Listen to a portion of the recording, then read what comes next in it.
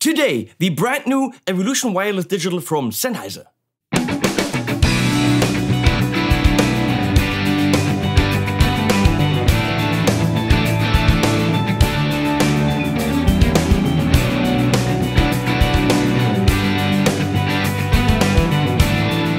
So guys, what's the big deal about the digital thing? Actually, I don't I don't really I don't really know. I know that Sennheiser and wireless goes hand in hand and they're some of the best wireless systems on the planet. For me, I get to test a wireless system I'm like, Ugh. it's usually those little uh little things with like well, I'll, I'll show you. Something like this. This is the Nux system and it's you know it's neat this actually comes in a little charging thing it's all you know off the grid and, and battery powered you plug this in the guitar you plug the other one in the amp and they're usually between if you buy the harley benton it's like i don't know 70 bucks maybe 150 there's also the line 6 series the relay uh, whereas i use the g10 and i think the g20 and i want to say they're all nice and good. If you want to use them on the couch maybe in the practice room, and maybe in a small club if not too many other people are using wireless systems. When you want a pro application, you're on a big stage, you need reach, and you need to make sure, 100% sure, that your frequency that you're using between this and the receiver, which is not battery powered, that hangs on a wall wart.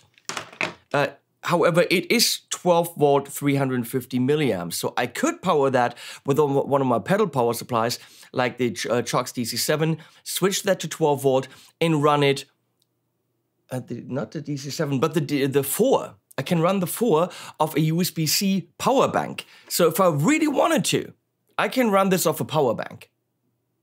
Totally doable. Uh, but obviously it's, you know, bigger, bulkier, all that rack mountable. And um, if you really want to make sure that your vocalist and the guitar player and I don't know, the overheads on the drums for reasons nobody understands. No, that would be very stupid. Um, and the other guitar player and the bass player and the other vocalist, if all those frequencies are out of their way, this system can help you in a tremendous way because it's app controlled. And yes, I'm going to show you the app. And you teach the app the gear you have, and then if you're the front of house guy or even the guy in the band having to set this all up, you go to the venue, uh, turn all these off, turn all these on, hit the sync button, and the app puts them all on the right channels so that they don't interfere with each other and they don't interfere with anything else around. And anything else around, what could that be? Well, in our live test outside, which is coming up a bit later, uh, we had a drone. And that could be something that you're facing at a festival, someone filming the festival from above. Uh, the G10 and the Nux, don't ask me what it was called, that I tested recently, crapped out with the drone. We had a reach in open field of about 15 meters and then they were gone. Once the drone landed and we turned it off, we had a reach of about 80 meters. Now, how does this do with a powerful drone remote right next to it? We'll find out. Before we find out anything, let's look at the box and the contents. Here we go. So here's the box. Beautiful. Look at those hands. I should be a hand model. Nah, nah. Okay, so I mean, come on. This is it's even wrapped like a little, like you know, like a present yeah, okay, cable. You, that's the cable that goes in the thing, but uh, you can actually also use different things, as we will find out. Like the, the, the transmitter thing is the same for all systems. I mean, yeah, okay, they include the batteries. They should, at that price point. And then the nice the batteries. And I dropped one. You turn it on inside, which is kind of nice. That means that you can't accidentally turn it off once the flap's closed. Mute, on off. Got a sync button, that's it. No display, because you don't need that. So the cable screws in for absolute security. That's not going to accidentally come out. Not going to happen. Nah, no, sir. That might be a little detail, but just the, the, the, wrapping like, like a present in Sennheiser paper, I don't know. It's just an extra kind of neat feature you know, it, it says this is high end shit. So on the back, you have XLR, which clearly says use with mics as well, and then the quarter inch out and the two antennas and the little input 350 milliamps at 12 volts, which means you can power that with a pedal power supply if you have one that uh, runs at 12 volt and a power bank. So you could run it off the main grid if you had to. Now, what this thing is for, I have literally no idea. It doesn't pop up in the manual. I do not know. I'm trying to find out right there, and I'm lost. I have no idea what it's for. It's not mentioned. Sennheiser, please write me and tell me what this really nice heavy metal plate is for. The feet are included, and I'm popping them on right there. Don't want to scratch up my table. Now, I love the BNC connection. I'm a big fan of that. It's on all my video cameras. I use SDI cables, and for the cam uh, for the antennas instead of the little you know screw thing. This is a quicker way to get a stable connection. So that's very nice because you're probably gonna have to pop these off when you move it around. So make sure you don't lose them. But BNC is a good way to connect those antennas. Here are a bunch of things you don't really need, safety, blah blah blah, except for this one thing that you fold out for the manual. Hidden boxes underneath. So I'm looking for the German plugs, and there's two of them, one a little bit thicker, one a little bit thinner, which is a very nice detail. I've never seen that. Don't know which ones to use. I went with the thicker ones and they work. Uh, seems to be a little bit more stable connection. On to the power supply, and one little uh, neat thing on the power supply on top, it actually says Sennheiser. I have so many power supplies that I do not know where they go, which is extremely annoying because you just you just don't. Now I'm testing it, but you don't know where those power supply uh, supplies go because they don't say the actual thing that it, that they go to. So this one says clearly Sennheiser, and I applaud them for that uh, because you know that it belongs to their product. I'm checking out what the rating is. So good. So this is the rack mounting kit. Uh, you can, of course, mount two of them next to each other, but you can mount it by itself. So there's a, there's a distance piece, which is that.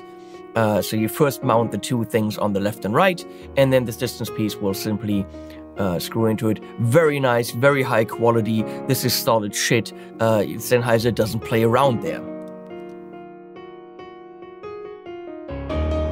As I said, they go on the left and right. And then the distance piece will. What? Huh? Yeah. Hmm? And the distance piece will go into this, I think, like that, and then you can easily rack mount it. Nicely done. I have to say, I really liked the redesigned transmitter I like that you can power it with normal batteries and you don't need proprietary batteries like on my AVX system because if those are empty, you have to charge them. These I can put in whatever I want. Um, on off button here, so inside, so you don't accidentally bump it. There's a sync button and a mute, and that's it. And I was afraid, I was petrified, that I could only run this with instruments and that this is some kind of instrument specific thing with the instrument cable that is supplied. You get these in kits. You get them with the instrument cable. You can get them with different levels of lav mics. You can get them uh, with the handheld mic for the system and the lav, different kits in different price ranges. The instrument kit is 649 euro as of the filming of this video. And I was afraid that it would only be proprietary to the instrument signal, but no, this is the standard transmitter However, this is the one in the range R1 to R, R1 to 6. There's a whole bunch of different ones to get out of each other's way. So this is the R1 to 6. And I happen to have a whole bunch of Sennheiser lavs already in my possession. And I tried it and it works. So no, this isn't just for instrument. If you later want to use a lav with this, all you have to do is buy the mic, screw it in, and off we go. And I'll I will show you what that sounds like in the recorder that I'm recording to right now. Right now, you're hearing the Sennheiser MKH416P40 uh, shotgun mic, which is phenomenal. That's also the shotgun mic I use in Studio B for everything. That's the shotgun mic I use on my uh, mobile cameras when I'm moving around. It's, it's, a good mic. So Uh, first, let's look at the display and what you can do on the box itself. Then we look at the app and what the app will do. And then we go outside. And after that, we're going to run around with this in the house and see how it does through concrete floors. But first, let's look at the actual box. So here's the operation on the actual unit. And you can actually see that there's signal coming in when I talk because I have the lav mic connected to the transmitter right now. So if you don't want to use the app, which I would recommend, um, you can very easily operate it on the actual unit. You see the strength of the signal right there. You see that Bluetooth is connected. So right now it should be connected to my phone, which is lying over there, over there. Um, this is the signal going out, the AF out. Don't know what AF stands for. Um, but the, uh, this is adjustable. You see the frequency right there, which again changes, and you can do an auto scan. You can do all of that here. So what you do is, uh, this is the menu. So nothing really hidden. And you hit set. Then you go through what you want to pick. Let's say gain, you hit set again. And now I adjust the input gain. And it came, I think, set to 27 for guitar, I felt that to be lower than the actual cable. I uh, so I adjusted that for this to kind of have a, a, a healthy level. I adjusted that I think to 39, but I would recommend doing some tests with a cable and going back and forth between the transmitter so that you really make sure you're hitting your amp exactly the way that you want. So you can get a healthy input level right there, not too high, and then also adjust the output. So the gain is the input. And if I now let it sit there for a while, it cancels out of it and goes back to the old gain. So don't forget to hit set. Now it's saved. Same thing for the AF out, that's the actual output, either XLR or quarter inch. Quarter inch is of course what you want when you're working with a guitar an, or a bass, and you adjust the output level output, output, output, output, output, output. So, and you set that and you're good. Make sure you're hitting your amp the correct way. Uh, channel is one that is very likely something that the auto thing on the app will set if you have several of these units going. Battery is self-explanatory. It's nice that you have such a big battery indicator because this doesn't have an indicator anywhere. So uh, it, maybe it flashes in a certain way. I don't know. I didn't read the whole manual because this thing is so damn easy. Then you can go to mute lock, which is probably, let's see, I'm going to set that. Can I see anywhere here that it's set? It should disable the mute so that you do that by accident. Okay. Uh, Auto scan is self-explanatory. It will scan the correct frequency. And if it feels it needs to be on a different frequency, it will do that. The channel can be set, again, if you have several of these units. Tune, you actually tune the frequency manually, which is probably something you had to do back in the day, but with this system, you really don't. So I would not fiddle with that. Escape. And you can reset the whole thing. That is all. The sync button is something you'll be prompted by the app to use. So we don't need that right now. So here we are in the app, which is actually rather simple. I just erased everything I had done so we can actually re experience that together. It's the EWD Smart Assist. It's not a pretty icon and it's not a cool name, but so there's nothing in there right now. Um, and of course, it'll prompt you in the beginning, you know, hello, do you want to do blah, blah, blah, blah, blah. But it says in German, I'm sorry, no uh, receiver added. So I'm going to add a receiver. And now it's telling you, uh, connect with the thing, the thing, the thing, the thing, do the automatic frequency, sync them. Okay, fine. If I want to add several at the same time, uh, hit the sync button on each receiver for three seconds. So you can do that for as many of these as you want which is what I'm going to do now. Data lights up, it finds it. It already kind of knows that it's called HP42 because I had it done before. Okay, well, we're gonna name it again HP42. That's fine. We're gonna make it a color. Let's not do purple. Let's do this beautiful turquoise. Save. It wants to uh, do Bluetooth. I say yes. So here's one of the problems with the app. I tried to do this outside, and uh, first of all, all black. Why isn't this white with black writing? Would be much easier to see in high sunlight conditions. And also, this is turning. And when you can't really see this down here because of, you know, a lot of sunlight, you're waiting for it. And you're like, why, why, why? And I'm like, it doesn't work. And I, I got very, very frustrated. Ease of use is all that this is about. And I know this is not something they could foresee, but this continuously turning. I know it's looking for new devices. I get that now. But I, I redid this process five times and I got very frustrated. I didn't see that you had to click there. So now auto scanning. All, this is weird German, schalte alle deine Empfänger ein, alle deine Empfänger. Okay? So you turn all your receivers on, but the transmitters off, which we do. Transmitters are off. I only have one. Um, and stay in the vicinity, okay? It's scanning for the correct frequency. Okay? By the way, you also do the firmware update, which I did very easy. It's staying on 520,000 megahertz, which is fine. So now, synchronize. It is on. Hold the sync button. You have to click it, not hold it. Synced.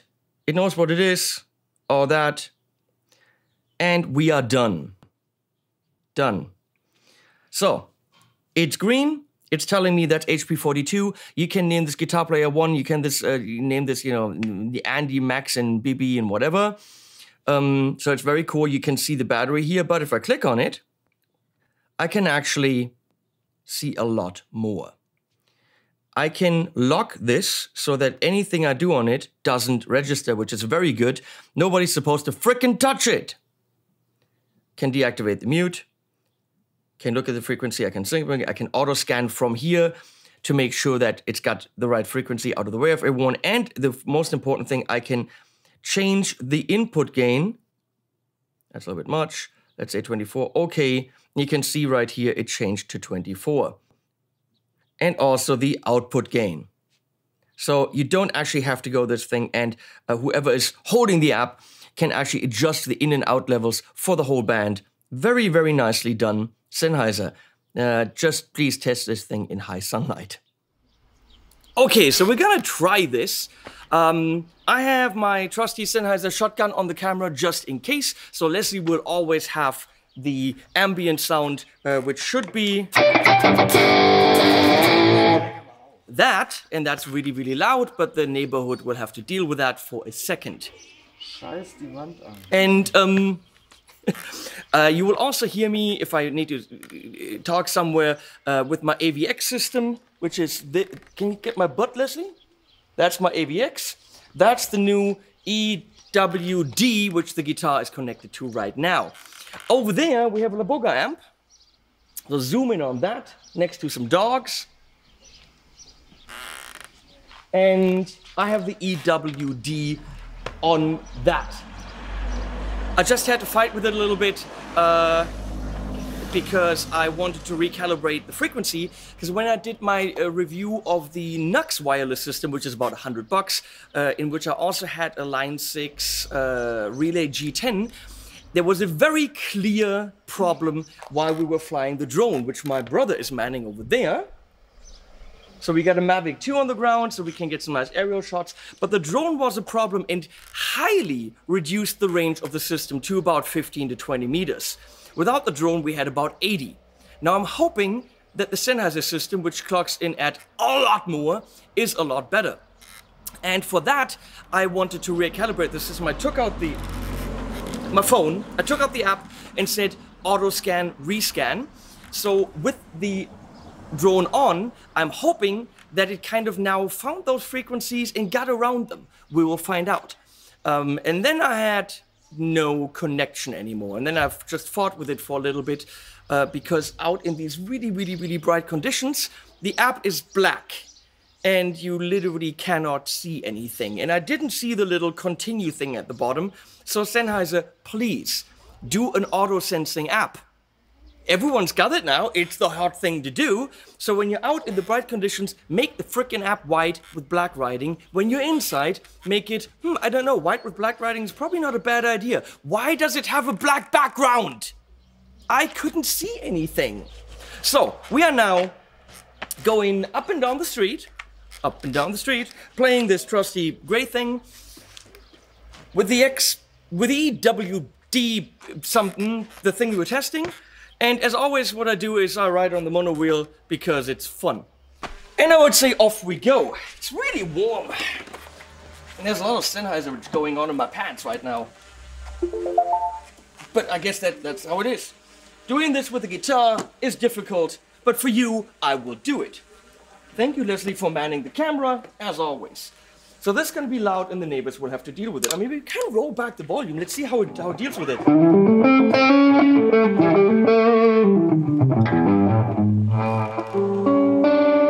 Neighborhood jazz. But uh, those poor dogs, they can go away if it's too loud. It's not my fault. You ready? Let's see.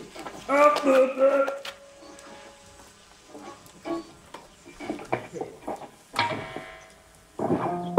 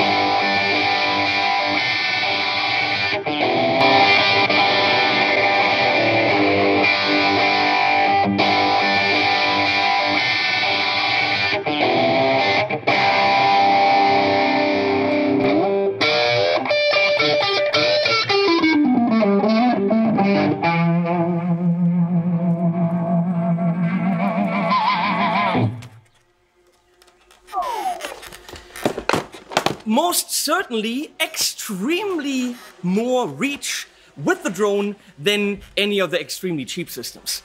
And I didn't fault the Nux or the Line 6 for being, you know, susceptible to drone interference. That's loud.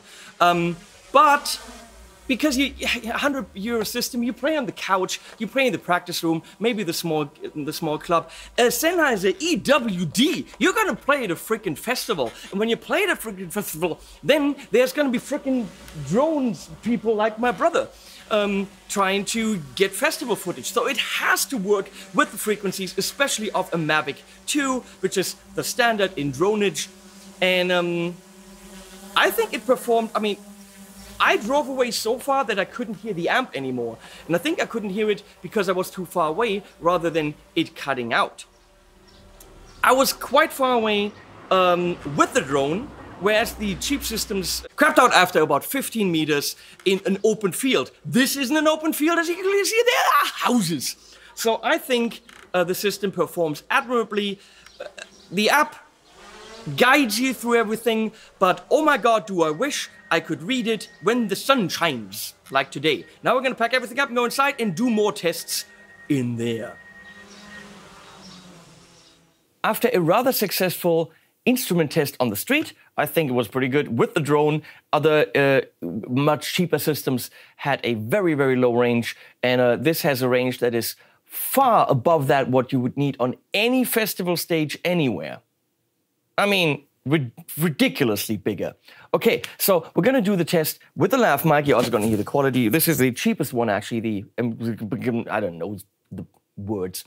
Um, and we're gonna run around the house. We have thick concrete floors. This part of the house is an old house, uh, an old barn, and usually uh, Wi-Fi does not do well in those. So we're gonna see how this megahertzy thing does. I don't know terms. We're also gonna go in the yard.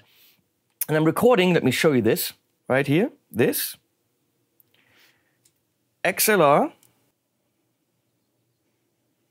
going into this recorder right there. So recording directly onto this recorder. Good. And off we go.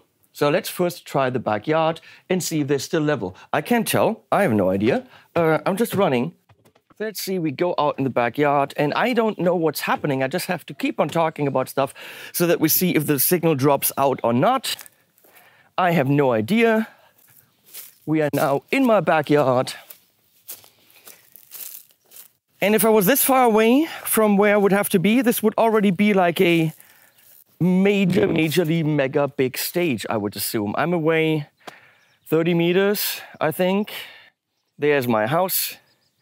And down in the floor is the receiver behind a very thick wall. Now we're gonna go through the house into the living room. I did this test yesterday. There was a tiny bit, at one point, a tiny bit of cracklish kind of breakup. But on what stage do you have concrete walls? Um, you, do you use this in a studio? I mean, would you use it in a studio through walls? I don't know, probably not. But, well, I mean, it's up to you. Usually we're talking on a stage. So here I'm going through the switching room back there. That's usually where Leslie sits. You're gonna hear vacuum cleaner downstairs. You're gonna hear that. That's Justina vacuuming. There's a lot of green right here. Okay, and we're going, we're going into the living room. Look at all the guitars. We, uh, not about guitars. It's about how to get them wirelessly into your amp. Okay, so I'm in the living room. We're right above the studio, and there's a huge, thick concrete ceiling, which means we should have, I mean, according to what I'm thinking, we should have no signal. But when Raphael is singing up here, I'm using the Sennheiser in-ear, which, which I have some here somewhere, the G4 in-ear, which is not digital, um, but it performs flawlessly. It's sitting right there. That's for up here, right there. There's the pack, and there's the transmitter in this case. It's, it's the reversed. Um, and that's actually performing rather nicely. So I know from experience that the Sennheiser stuff can be transmitted within this house. Uh, we're gonna see how the new white digital thing does once I look at the data on the recorder, once we're back. And uh, here for some of you pedal nerds are all the pedals that I have left in three big racks. I banned them from the studio because I uh, just had no space for them anymore. And um, yeah, this is a complete chaos room right here.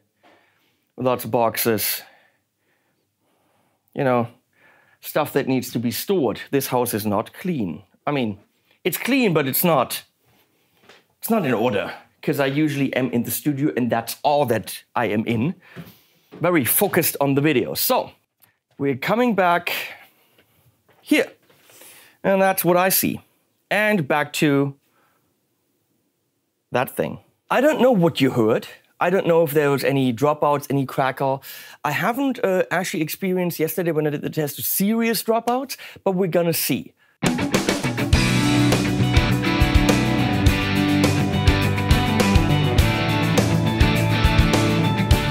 So, for the My Two Cents, let's stick with the lav mic because why not?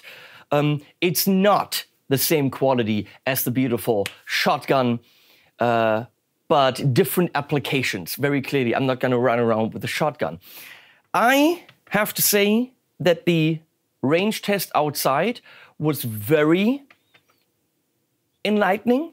And the fact that the drone was flying blew my mind because in other tests, I'm going to say this for the third time now, with the drone, much cheaper systems completely crapped out. This is not a cheap system.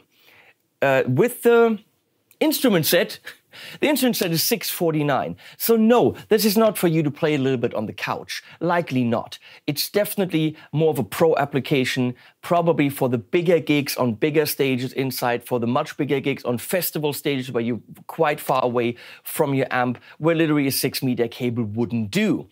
And I think it performs beautifully there. I think even when people are flying a drone, if you run the app for all your systems, for the vocalist, for everyone, and say auto scan, make sure everything's out of the way, I think you're pretty safe.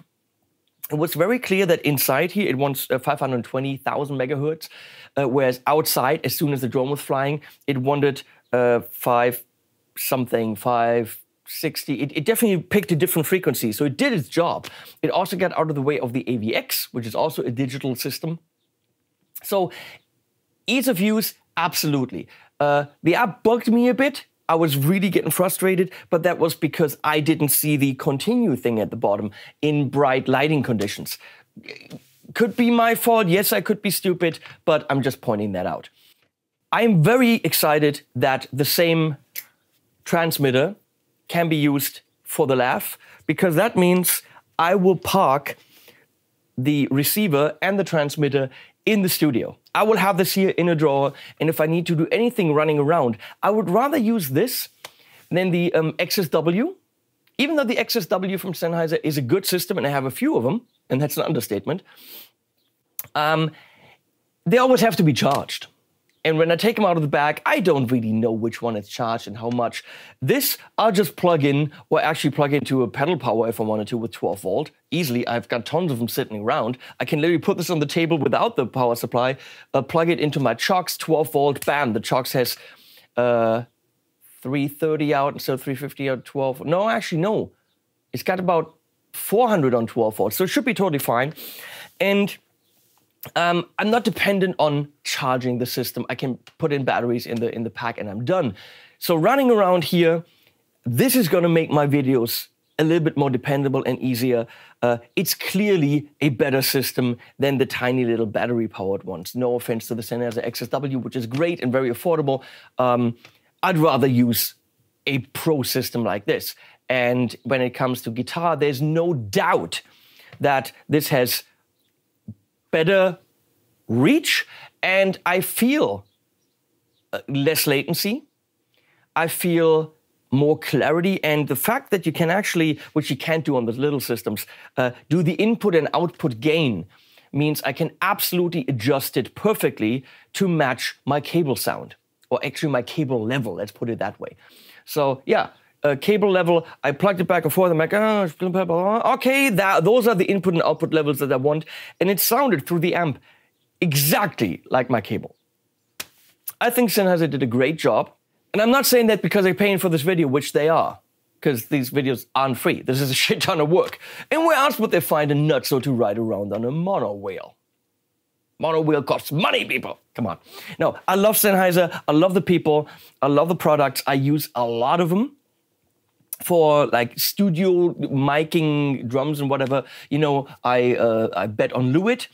But for any kind of utility stuff, shotguns, wireless, Uh, actually, yeah, the, the, only wireless stuff I use is Sennheiser, and I've got I've got a bunch of them.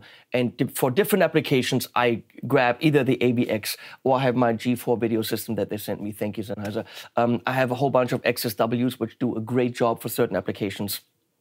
And now the EWD, the Evolution Wireless Digital, will absolutely be used in here. Thank you, by the way, for leaving the in-ear, G4 in-ear with me, because I just did a full week of drum recording with Felix Lehrmann, most German, Germany's most booked studio drummer. We did a whole bunch of amazing lessons that you can get soon.